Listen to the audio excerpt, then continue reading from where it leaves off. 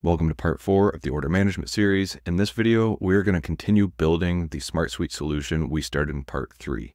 Specifically, we're going to look at the part stock, inventory items, and purchase orders. Check it out. Welcome back to the channel. For those of you that don't know me, my name is Zack Stevenson. I'm a business process and no code consultant.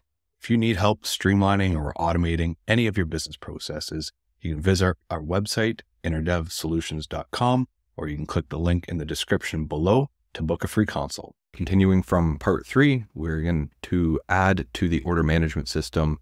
In this video, we are going to specifically add the fields for the inventory items, part stock, purchase order, and purchase order items. A lot of what we're doing here is to teach concepts. And one concept that is very important, and I've touched on in other videos, are junction tables. Inventory items is a junction table between inventory or essentially products and the parts stock. Once we start adding fields, I'll explain a little bit more as to what I mean here. First thing, we're going to label this item ID and we'll come back in a moment and set it as an auto-generated field. First field we're going to add is a link record field.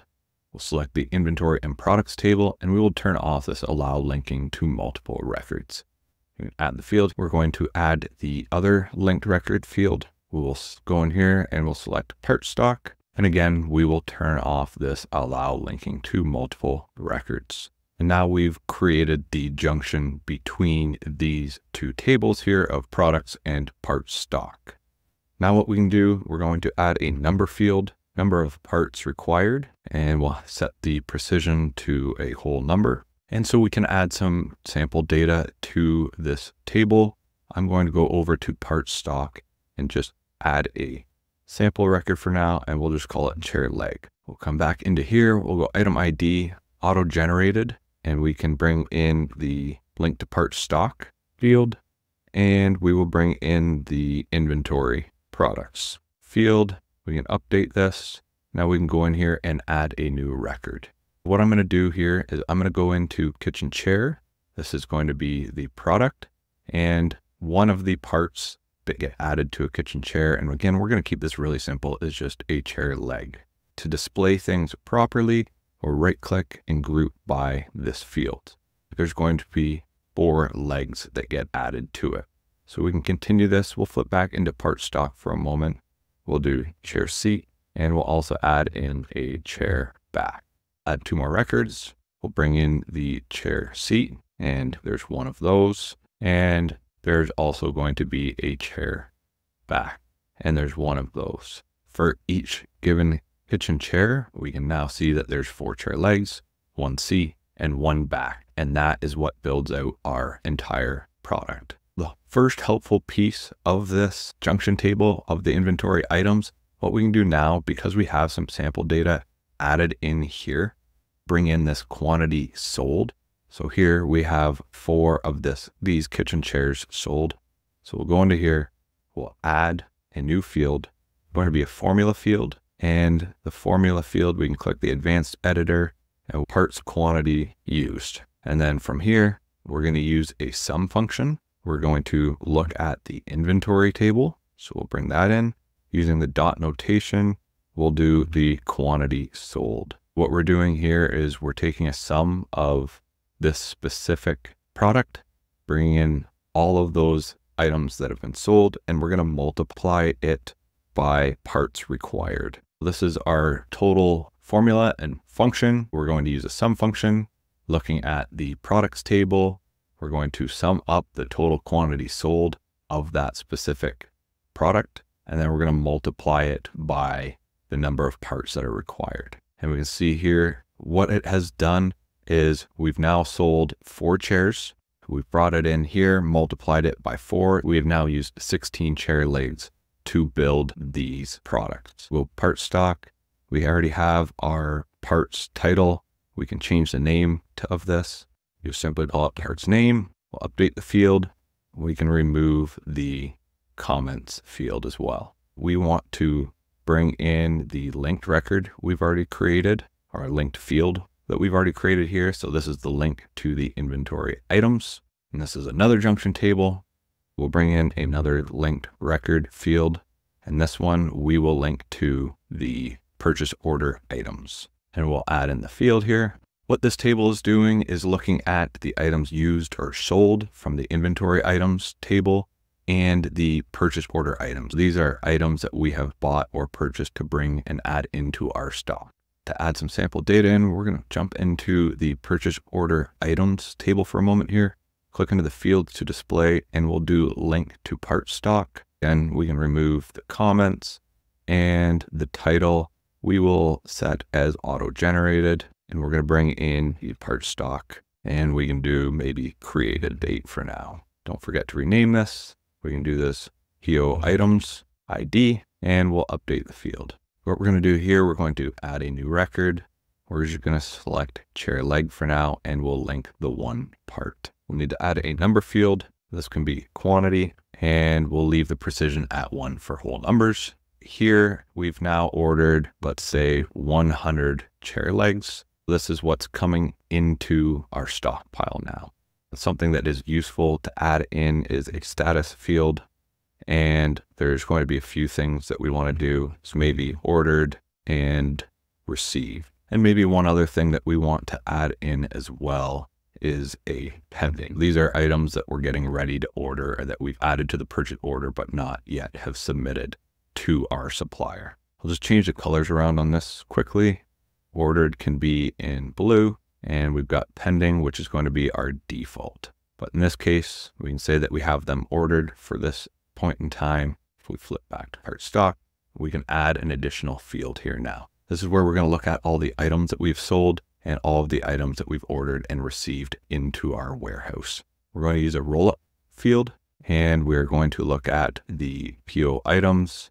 We're going to look at quantity and we're going to use the sum function. And I will look at this filter in a moment, but we'll add the field for now. And you can see that there has been 100 of these chair legs ordered.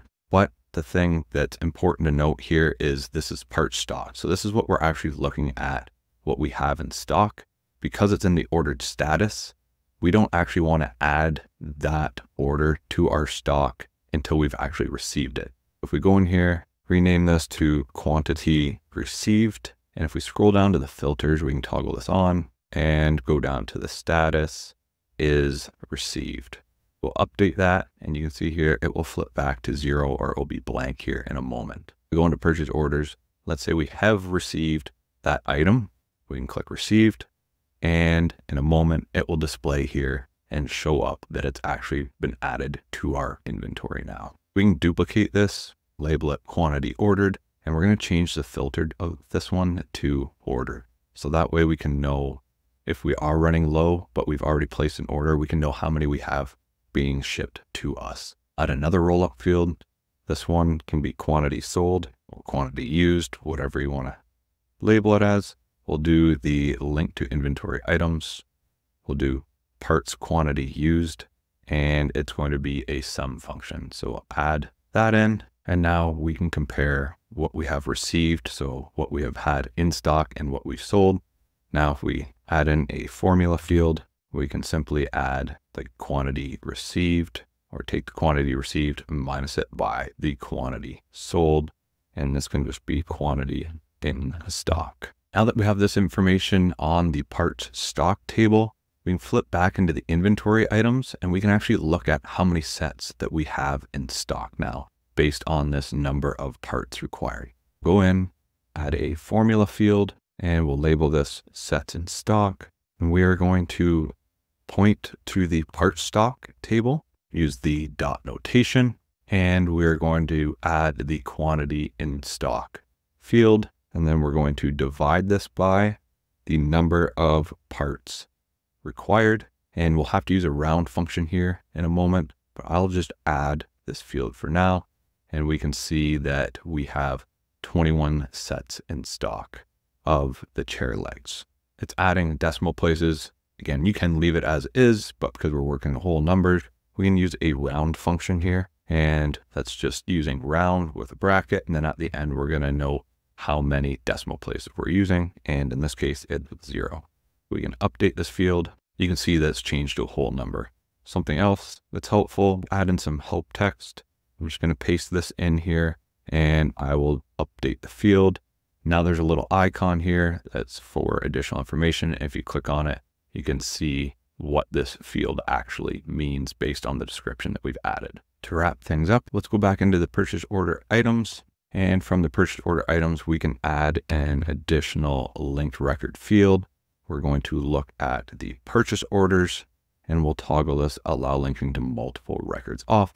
There's only one line item or a line item can only link to one purchase order, but a purchase order can link to multiple line items. So we'll add in this field here, go over to purchase orders, and we will finish up the information that we need at this level. Keep it really simple. First thing I'm going to do, I'm going to remove the comment. I'll bring in the auto number field and I will also add in a status. We can do pending, ordered, received, and we could do partial received. Another field that might be helpful is a date, and this can just be for date ordered. Add that in, and if I click into the auto number, I'm going to add a PO number ahead of that, click update, and we'll label this purchase order ID, go to auto generated. First thing, bring in the auto number, and I will add in the date ordered as well. Obviously, to add to the purchase order, since we'll be sending this to suppliers, you could add some supplier details and information or add an additional table, similar as we did to sales orders, where I mentioned that we could add a customer table and link the customer to the sales order. We could do the same thing on this end of things from the purchase orders.